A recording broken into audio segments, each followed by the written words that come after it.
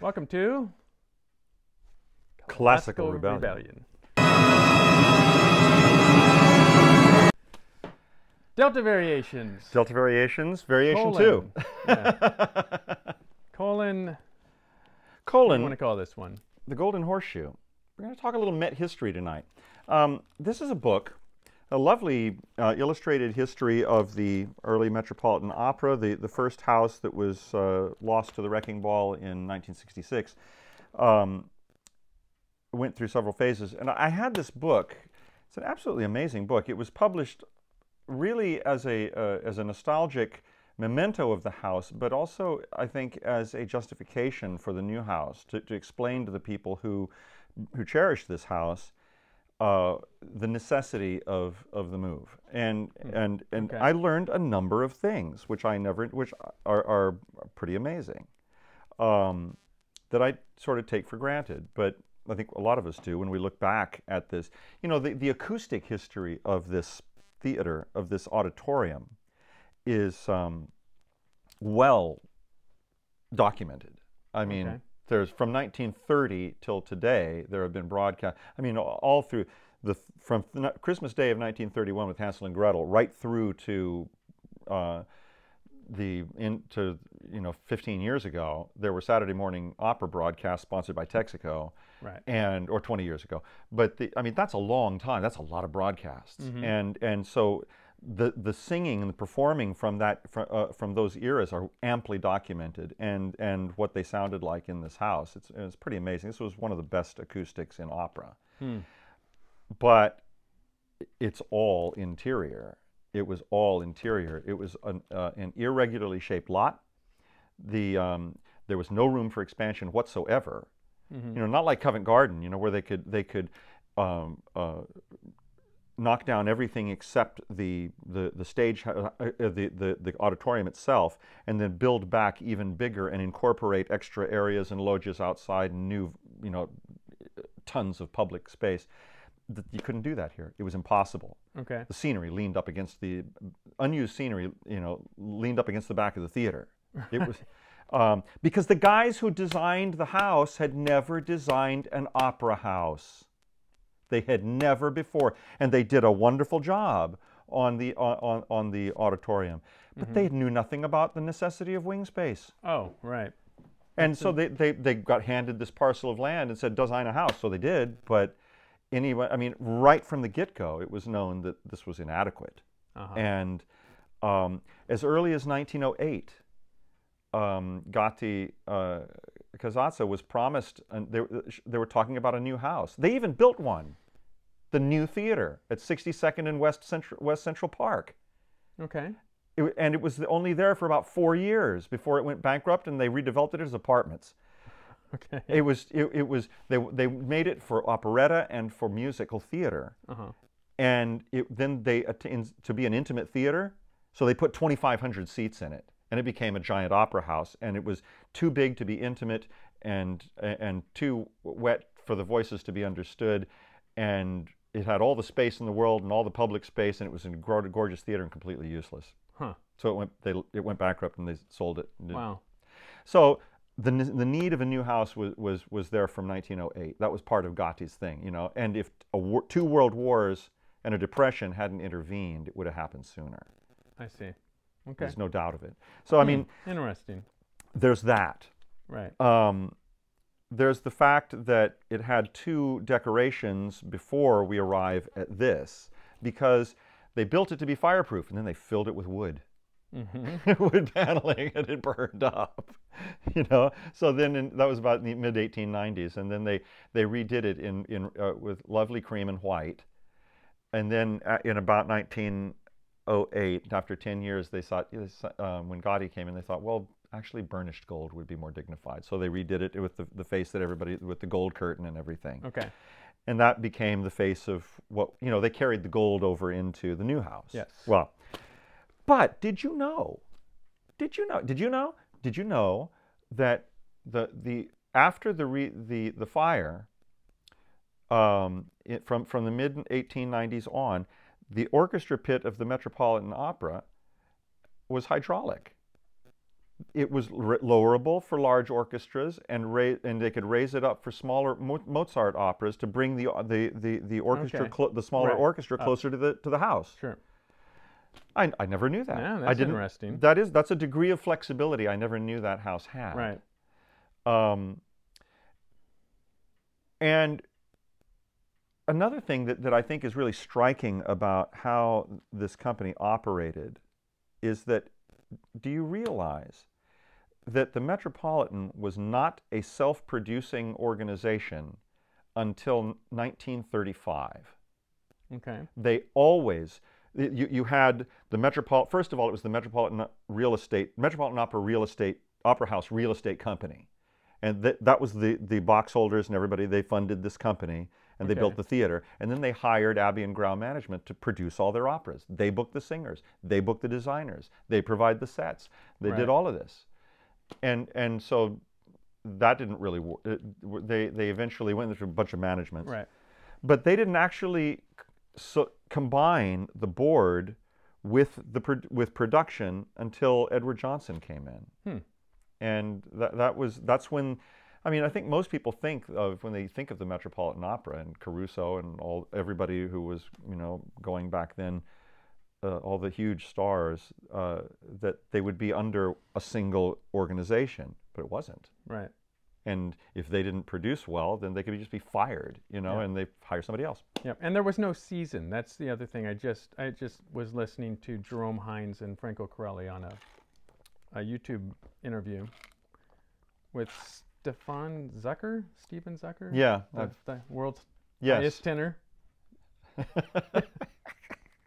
I've never heard him sing. He's got he's got a uh, a voice that didn't change. Sounds like to me. So he always talks like this.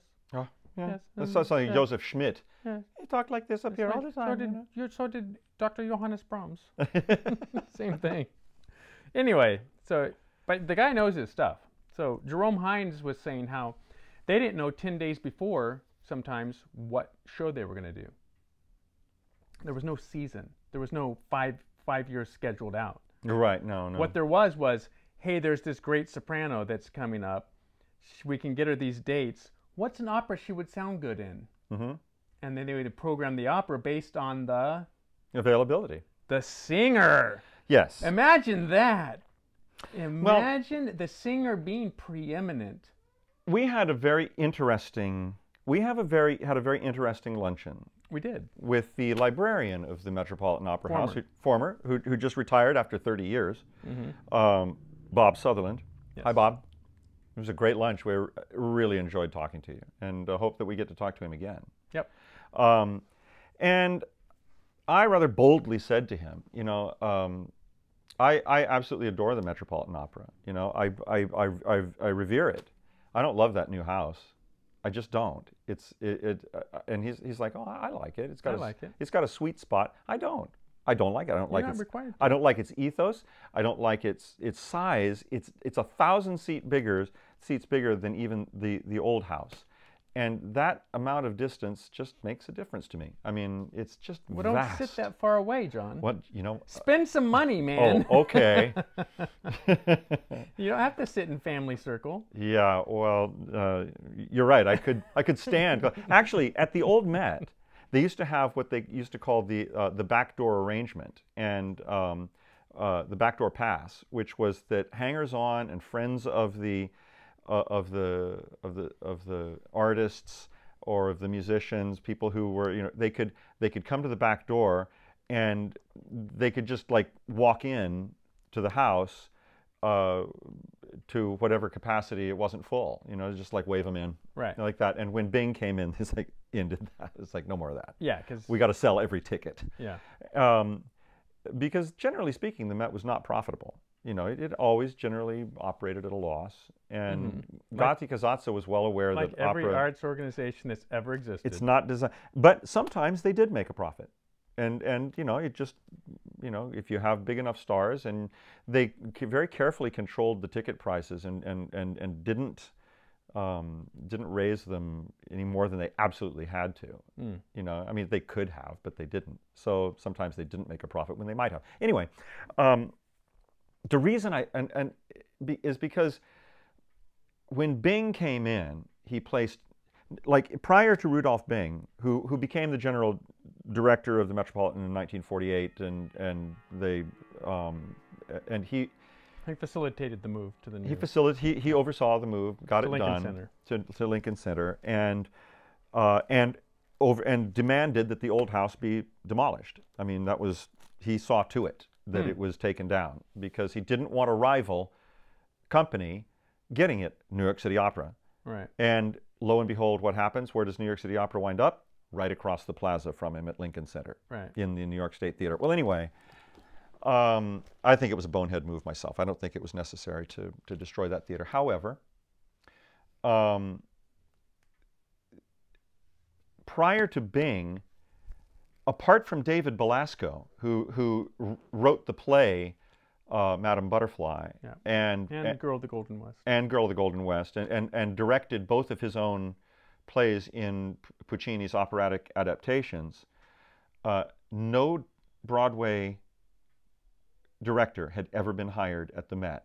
Okay. So it, it was literally, they would have two or three or maybe four staging rehearsals with the principals, and they had a, there were no name directors. It was just staff directors. Right. And it's like a couple of guys, you know, nobody, no names. And it's Just like, direct- okay, they're just you, directing traffic. you you know you know the the, uh, the the plots of these. You you go set them up with in that opera, and basically the singers would tell them where they wanted to be. yeah. And uh, and so after after um, uh, Bing came in, you started getting people from Broadway, Tyrone Guthrie, people like that coming okay. in, and and and and drama became acting became important, real rationalized acting, you know, and and. Um, if you had a singer like Shaliapin or somebody who'd had exposure to, to Stanislavski or some of the others, you know, from Europe who had, had, had worked with with, the, um, with them, then great. Uh, but if, if you didn't, you, you were just there there to sing. And I still maintain that's preeminent. well, this is why I don't like the new house, because it led to way overstaged, set heavy, um, mammothly uh, uh, uh, visualistic productions like Zeffirelli's Bohème that reduce the preeminence of the singing. It's not a movie. It's never going to be a movie. The singing comes first. If the singing is not there, you've got nothing in opera. Right. It doesn't matter how pretty the set is. It's a failure. Right. It doesn't hurt to have a pretty set, though. It doesn't hurt, but it's not strictly necessary. Now I No, realize I realize that the depth of the stage at the old house was a problem. However, I learned this from this book. They had rear projection, rear projection um, uh, scenery. Okay. Like we think that, that like in Great Scott, we had projections for the Yeah. scenery, right? D- digital projections. Well, they had projection projected scenery as early as the mid- late 1920s. Okay. They were so, it- they didn't have it often, but it was a concept that had made its way to the Met. Uh, and uh, you know, you could they, you could nowadays you could do so much more. You don't need a stage the set the size of the Met to do a lot more with it. The kind of digital projections we have, you right. can well, create that's, worlds. That's, that's for to kind of gently go off topic just a little bit. That's the where the production costs can be reaped, except you've got some unions in the way. Well, now there are unions. It's a different Yeah. situation. However, if you had because if you have, if you don't have to build sets, you know how many hours you're cutting out of the stagehands union? Most of them. Well, there it is. Yeah. You And you, don't have to. You don't have to move sets. But the, No, the digital. That's where I think admit it. there's well- a massive opportunity for the opera industry oh, I, I think is so. to pay that one-time I- upfront cost to put the equipment in. I thought that idea was mine about about ten years ago. I thought I was all over that. Doing pro- projecting scenery, man, you could project oh. Valhalla like crazy. You could do amazing things with it. yeah. And I, I had that idea. I did. I didn't say anything about it Right. at the time, but I did have. But it wasn't even new. It was going in the 1920s. Yeah. Yeah. Now there's a Met production of Tannhäuser that has projected scenery. I'm all for it. Yeah. because you can combine project if you're doing rear projection on a cyclorama for instance which is a curved a curved curtain that that that reduces the um, the, uh, the obvious lines of the stage and and helps to sort of break the illusion of uh, you know uh, the four-walled environment of the stage. Mm-hmm. Um, if you can project onto that, I mean, you could they could do amazing things. Yeah. And you could combine that with with stage scenery and stuff. Having seen Zeffirelli's Bohème at the Met and having going to see it again on November 9th, uh, it's more Pirates of the Caribbean than movie to me. That's what it, it really looks. It seems more like that, like that scale, that amount of detail. Um, Yeah, no, I agree. And- it's and it's wonderful. It's fantastic. Yeah. I, and is it strictly speaking necessary? No. And is it a substitute for the caliber of ensemble that had developed under Edward Johnson and continued into Rudolph Bing? No way. It's not a, a substitute no, for that. Those singers just don't exist. Well, They don't. true, but they they might be more likely to if they were able to sing in a more manageable environment. I don't know. Maybe. Yeah. Maybe. yeah, you'd have to change. You'd have to pull them out of the academy. You know, Bob said. Bob said the uh, uh, it has a lovely sweet spot down front. I was like, well, yeah, but the For old Mm-hmm. the house, singers. the old house was one giant sweet spot. The whole thing was a, a sweet Yeah. spot. well, the old house isn't coming back, so we have to No, but another theater designed more like it could. maybe. You know, and I and I personally, I, I think that's probably where it's headed. On you know, Yeah. No, I've seen four productions at the Met. I have had no complaints whatsoever about the the experience of theater. right? Some of the casts have been useless, I guess. Hmm. Um, in that they just I just couldn't hear them. Right. But I wanted to That's been able to, from where I was sitting, I wanted to have been able to hear them in a 600 seat house. you can't sit in row H and not hear the mezzo, and then blame it on the size of the house. True. True. That is the academy that is de- that is designing these singers, That's not good enough. and it's the impatience. This is one of those things that Jerome Hines said on that that YouTube video I watched or listened to. There's no there's no visuals. Uh, he talked to Eduardo Mueller. good uh, old Eduardo Mueller. Yeah. Who uh, I was, I don't know, I was in like at least 10 opera productions that he conducted. But he asked, he said, Eduardo, why, why aren't there big voices anymore? He's asking this in the 80s, let alone now. hmm And he, he said, I don't, Ed Mueller said he didn't think conductors had the patience for those voices to come together because those big voices take more time to put together. They're somewhat clunky. They're a little bit, Do you know- they have to be coordinated hmm Yeah. and they have to have time to create the technique. Corelli didn't go, didn't didn't make his debut till he was 33. Yeah. Yeah. 33. And and here's another interesting thing that I learned from this, uh, and that bears out that statement. The the American tenor James McCracken, who was unfortunately short, but nevertheless had a voice of a lion, and became a great Othello. Mhm. Uh, his first role with the company in about 1958 was something something along the lines of the butler in Traviata who sings La Oh, right. pronta. yes.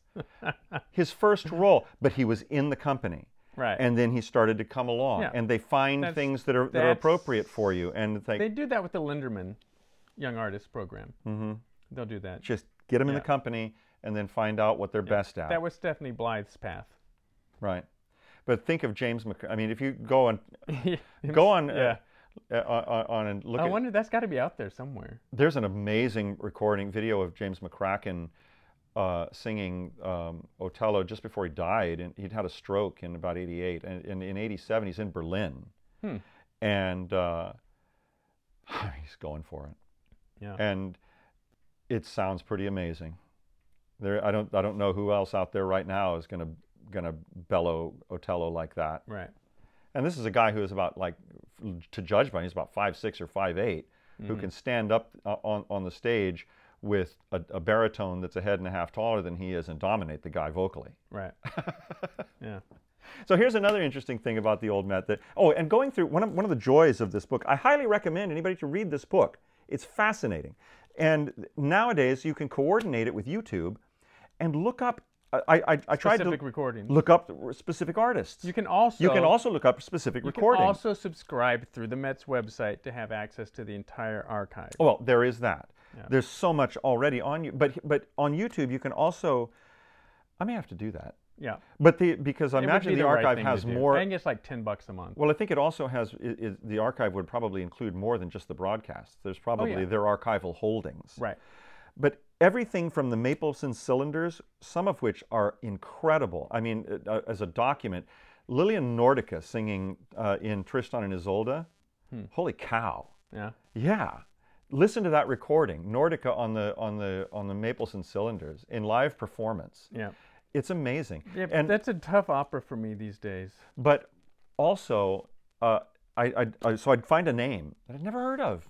You know, these Central European singers that came Sure. to the came to the Met in the in the 1890s and stayed until 1910. Some of them, um, uh, and one of the, one recording, um, which is prior to Kirsten Flagstad, the Met had Frida Leider. Um, and prior to Frida Leider, uh, they had in the 1920s they had uh, Nanny Larsen Todsen. okay. Now I'd never heard of her, so I look her up, and there's a recording of her singing the Liebestod in uh, um, in about 1926, Mm-hmm. and this is the only recording of the Liebestod by, by a by a Wagner soprano, because that I've ever heard that sounded like a lithe young girl, impassioned. Damn, Hmm. that's sexy singing. Right. I'm not kidding. Hmm. It's sexy. But beyond that, when she goes for the top note, it's all there. Right. And then there's also this incredible suppleness and, and girlishness to the voice underneath it. And then all of a sudden it just blossoms into these top notes. And it's like, I, I've, I've never heard anybody else sing it like that. Hmm. I, so check it out. Nanny Tu- Larsen Todsen, L A R S E N T O D S E N. And Okay. uh, an artist you've never heard of right.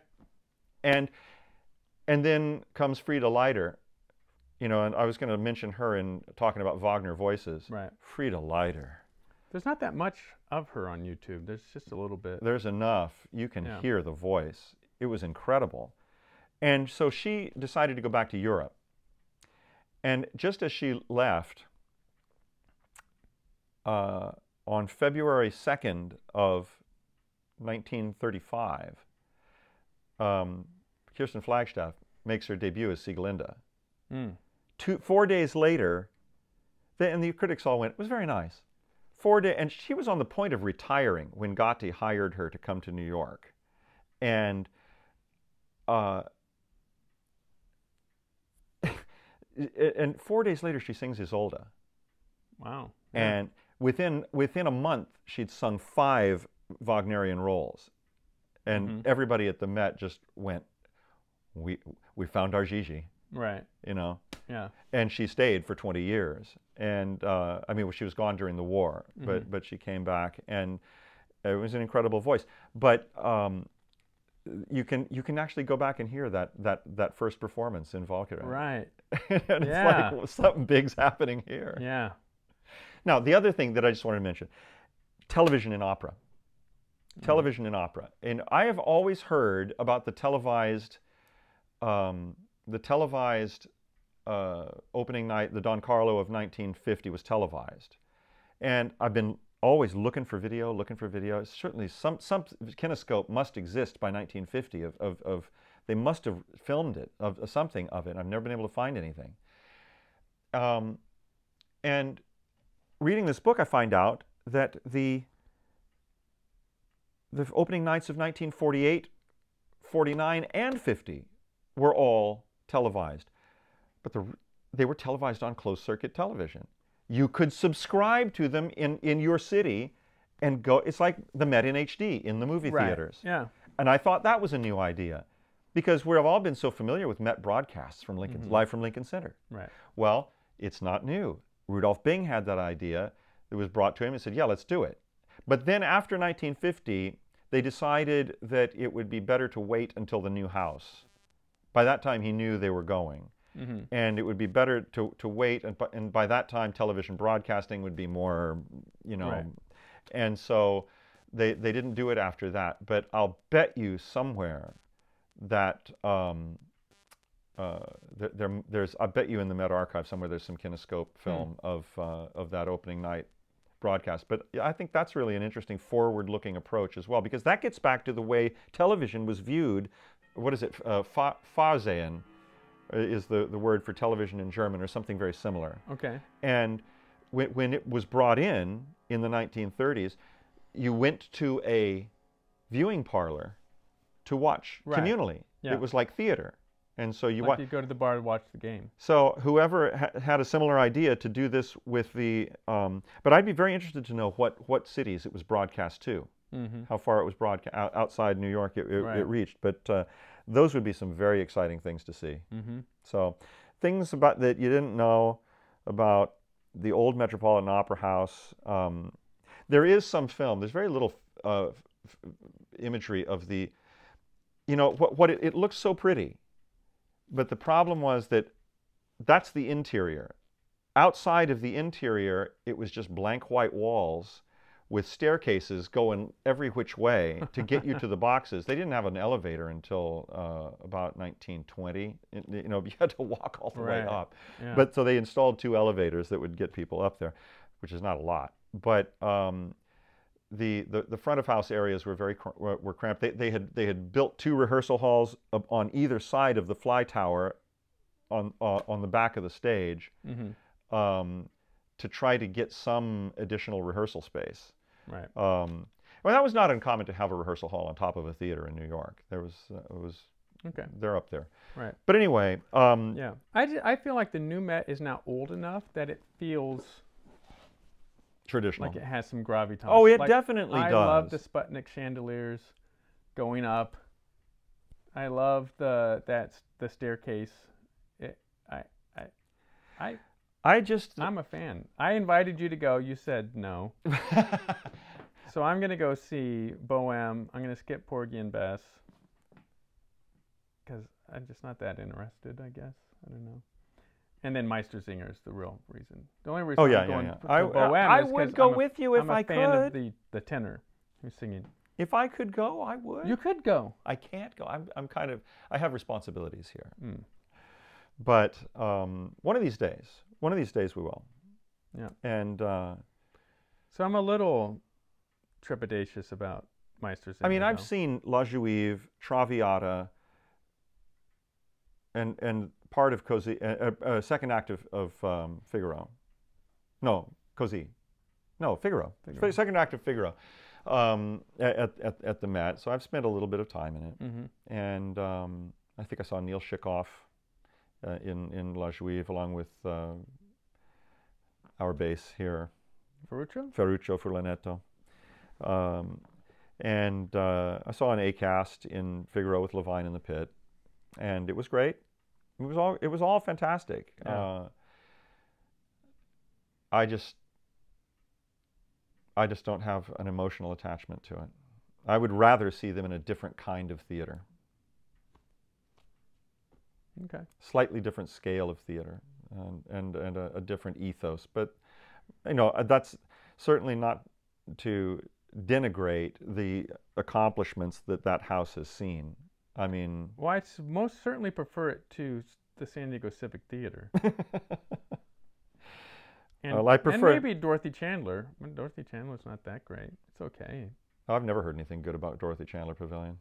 I've never heard anything good about it. Dead as a doornail. And from what I mean, that, that's what everyone has always said to me who's ever been there. It's dead as a doornail. Well, Richard Leech sounded quite alive in Tosca when I Did he? when I heard him in the early 2000s. It was it was awesome.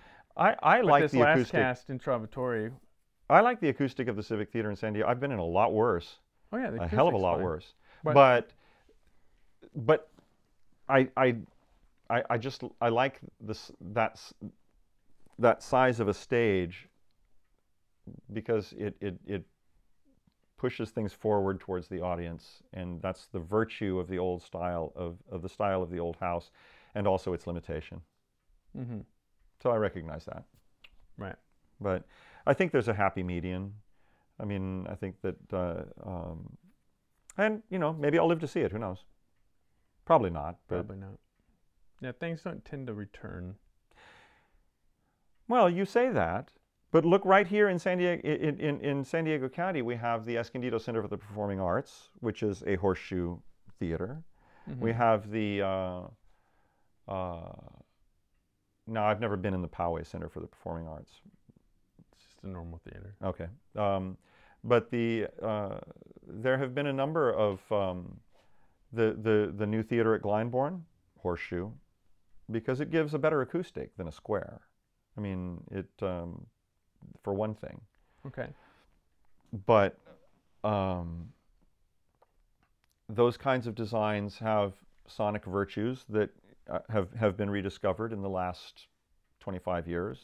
Um, uh, in various places internationally. So I, I think you know when, when the time comes, let's put it this way: when the, whenever the, the, the time comes for that the Metropolitan Opera decides that maybe they need to downsize or that, that their time in that style has has passed and they're going to opt for a different venue uh, for an, another new house, Mm-hmm. 30, 40, 50 years, whatever. Um, I mean, I'll only be 108. Right. So, but um, I'll bet you it looks more like the old house than than it does like like the present Metropolitan Yeah. Opera. Okay. That's my my what I would bet. Right.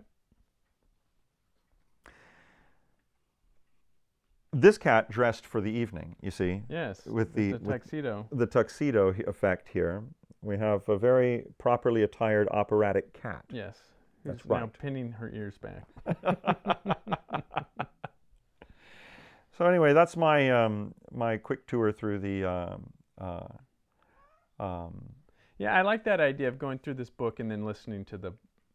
there's a lot of very good material out there from the from the turn of the century. Oh yeah, Fr- I just mean, listened to a 1947 Il Trovatore. That's not turn of the century, but then mm. uh, with Mar- Bjorling and Leonard Warren. Marcella Fantastic. Sembrich. Look up Marcella Sembrich. Give her a listen. What a remarkable voice. Hmm. A power coloratura. okay.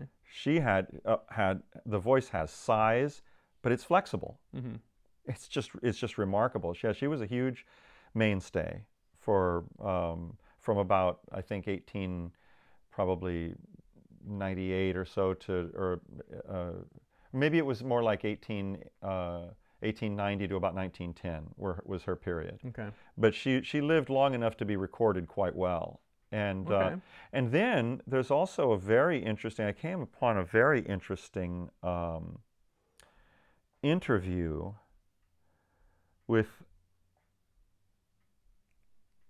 You may need to edit this part because it's on the tip of my my, my mind and. Um, um, Emma Eames. hmm Emma Eames talking about uh, the nature of the recording process. And you remember the, the video of, of modern Met stars recording into a bell? Right. Right? Yeah. And what they would sound like? hmm Well, she describes the process. She said, We always had, if you wonder why they sound like they're coming out the small end of a megaphone, right? She said, We had to sing directly into the bell, and we had to balance our, our, our top notes constantly and restrict their, their scope so as to avoid a blast. Because if you overdrive the recording needle, it just goes like this. Ah. So they constantly had to restrict their voice. She said, it, it, It's a pity. It's a pity that those of us who were prominent in the so called Golden Age um, were not afforded, did not live in times of better recording technology to represent. Nevertheless, here's a selection of, because the, I think one of the record clubs was, was assembling a, a- some of her better known recordings.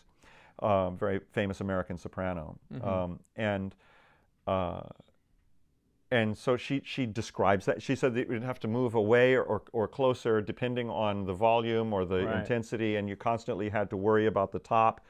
So, you know, it, that's one of the reasons why they sound like that, hmm you know, and sometimes you get, you just got lucky, Right. you know. Yeah. So it's a fascinating process. And, and that, that era of singing uh, you have to take the recordings with a grain of salt. Be- Mhm. And but when you get lucky with one where you go, wow, you know, I I think I can really hear that voice. Right. It's a lucky one, but they weren't slouches.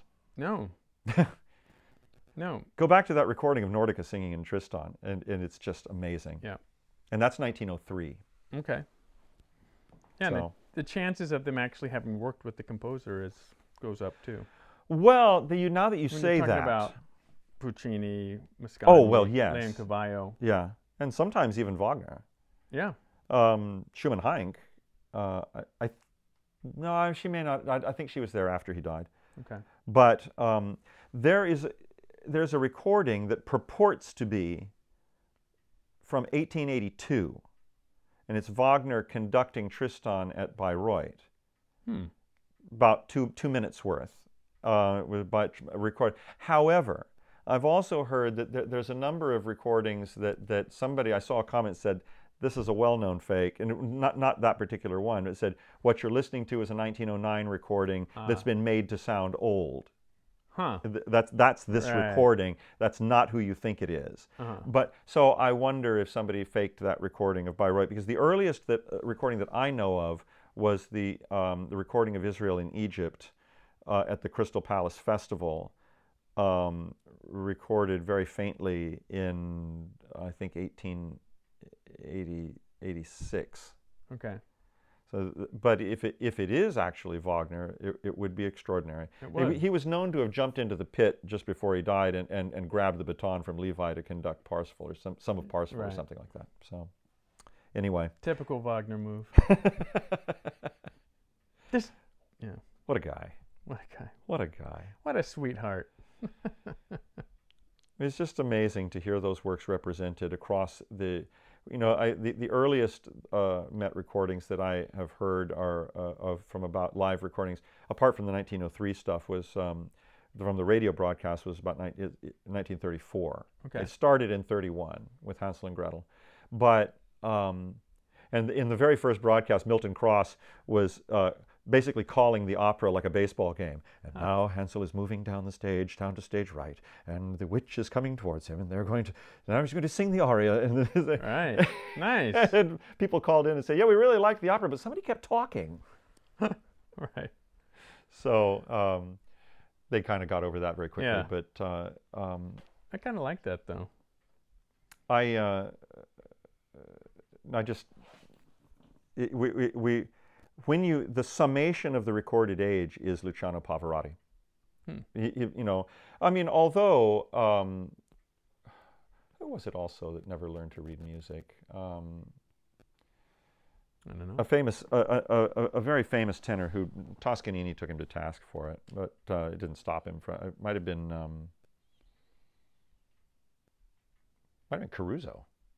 I don't. Oh. I don't think Caruso ever learned to read music. I think that's who it was. Well, he's a famous boy alto. so It's in. It's in the book, Okay. but uh, I'm pretty sure it was Caruso. Hmm. And, um,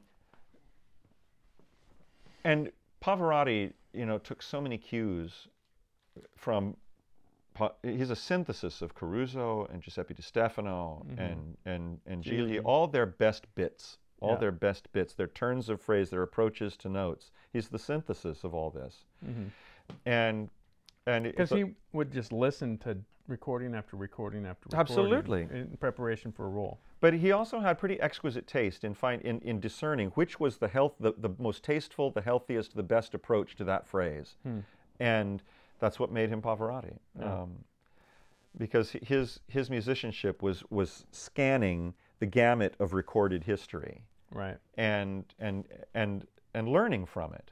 Mm-hmm. So we are blessed to live in that. We all have that, ca- that capacity now. Right. you know. But when I my one of my favorite recordings is uh, is a, a February of 1958 Tosca with Tucker Tebaldi and Warren and Mitropoulos conducting, Mm. and when when the volume comes up, you hear you hear the audience settling into this golden warmth, Mm-hmm. you know. And you know that it's about to be in the middle of February in New York. It's about to be Italian summer Yeah. and and it is and it's just magic and to, to be able to place yourself in, in that environment through the years um, is it's not entirely lost. Right. Even though it's not physically present, it's it's still sonically present, and that's a beautiful thing. Mm-hmm. So, Yeah. I love going back. That, like I said, because I saw Trova, Trovatore, Trovatore, Trovatore at, in L.A. And so while I was writing my review, I was listening to the that 47 Right. From the Met Yeah. with Leonard Warren and Zinka Milanov? No, Roman. What's the name? Last name of the soprano? They're all really good. Oh yeah. Leonora e Emilia.